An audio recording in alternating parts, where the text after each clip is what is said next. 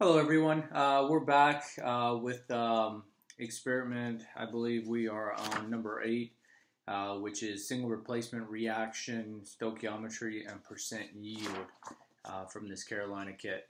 Um, now we're going to go ahead and jump straight into it. Uh, what we are going to need for this uh, experiment is our copper sulfate, um, our filter pads that came in, and just very quickly, um, I did some preparation steps. Um, I folded uh, this filter paper uh, twice and cut off one of the ends so I can perfectly align the filter pad uh, with the strainer. Uh, and we're going to use this later. Now I didn't cut off the bottom. Um, I actually just cut along the line so I can perfectly place the filter pad uh, up against the drainer. So we're going to place that off to the side.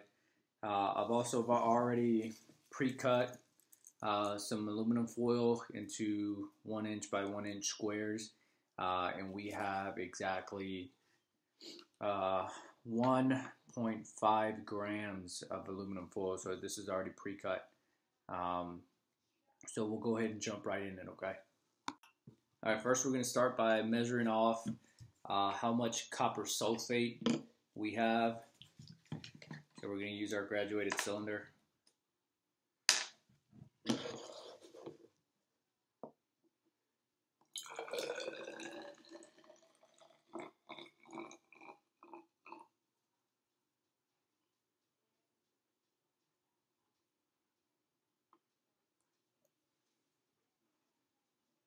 All right, that's 50 milliliters. And we're going to place this in the 250 milliliter beaker. All right, let's measure off the rest.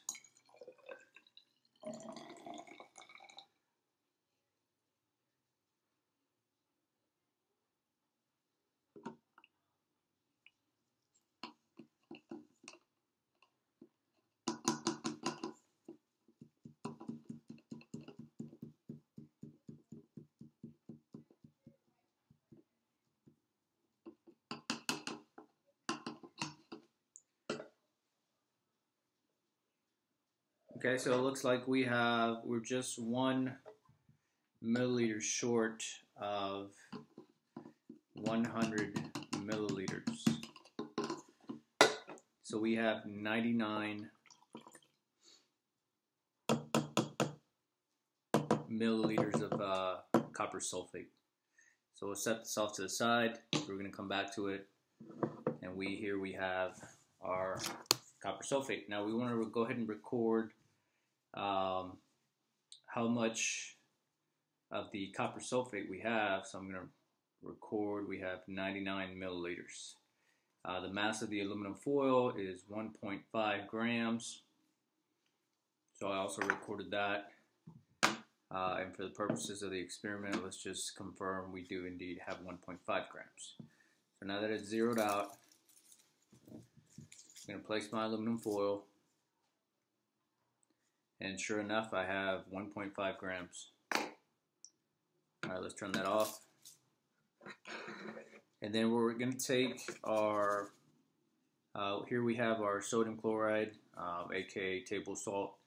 Um, now, this experiment doesn't call for a specific um, weight of salt, but more or less it says approximately one eighth of a teaspoon or the exact amount of a small salt packet from a fast food restaurant.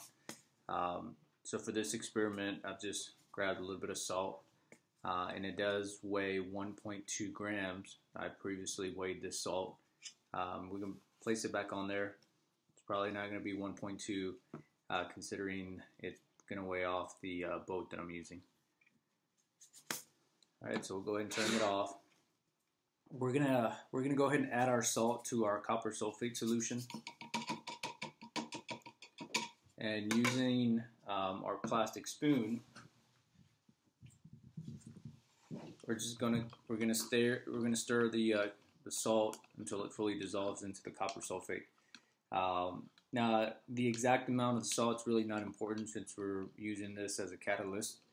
Um, so don't, don't worry about being specific or uh, using exactly 1.2 grams.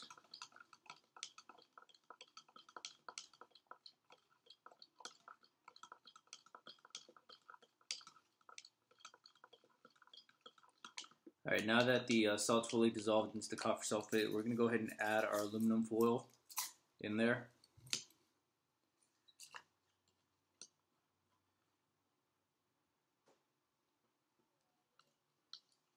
We're going to stir to mix the aluminum foil with the solution and, and make sure you watch for any changes or observations.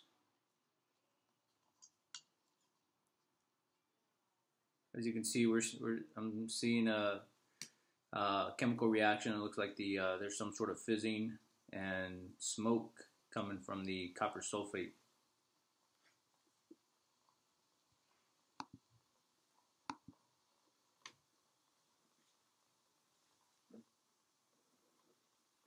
So it looks like we're getting some heat. Um, I see some clouds, a little bit of smoke coming up. Now, this is going to get hot, but not hot enough to melt the, um, the 200 milliliter beaker that we're using.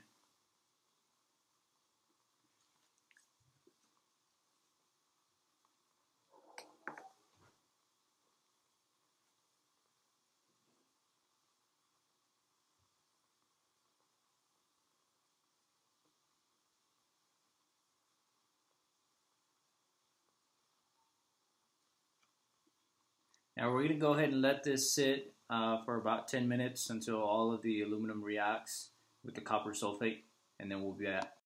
Okay, now we, uh, we're back and we're actually noticing that there's basically no aluminum left of the uh, aluminum foil, more of this uh, copper that we have left uh, and it, it did let off a lot of, lot of steam or gas. Um, so make sure you're in a well ventilated area when doing this. Um, or just don't breathe any of the fumes. Uh, now we're going to go ahead and let the copper settle down to the bottom of the solution for another five minutes and then we'll be uh, back. Alright everyone, so we're back. Now that the uh, water has fully drained out of the uh, copper sulfate, we're going to go ahead and take this out and see what this looks like. Looks like we still got a little bit of water left.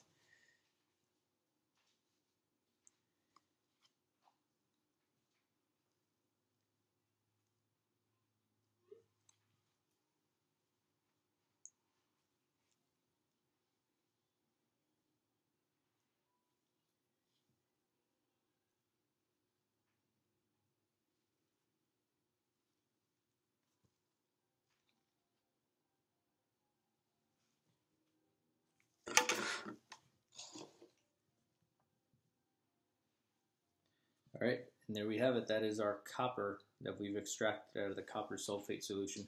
So we're going to go ahead and place this on an oven-safe dish and place it in our oven. Okay, and then uh, once it's um, once it's fully dry, uh, should be in about 20 to 30, 25 to 30 minutes. Uh, we'll be back on and show you what this looks like. All right, guys, so now that we're back, um, looks like the copper has fully dried. And this is what we have left. Um, so what we're going to do for our last step is we're going to go ahead and, and weigh the copper and record that. Um, and then we're going to go back to the drawing board and find out um, how much uh, product was yielded from uh, the volume uh, and mass that we started with. Um, so let's just go ahead and find out how much of the copper we have.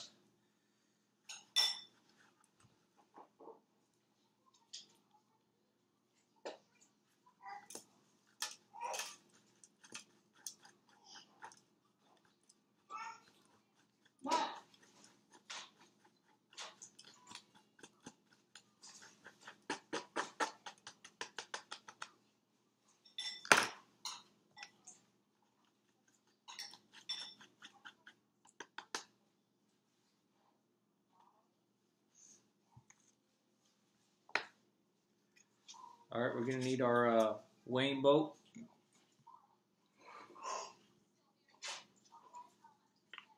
And make sure you zero it out again. And then you place your copper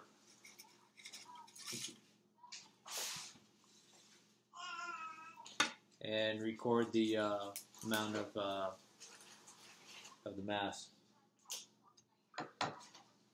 Okay, and this will basically conclude our experiment. Um, we're just gonna go and add up the rest of it. So thanks for joining us.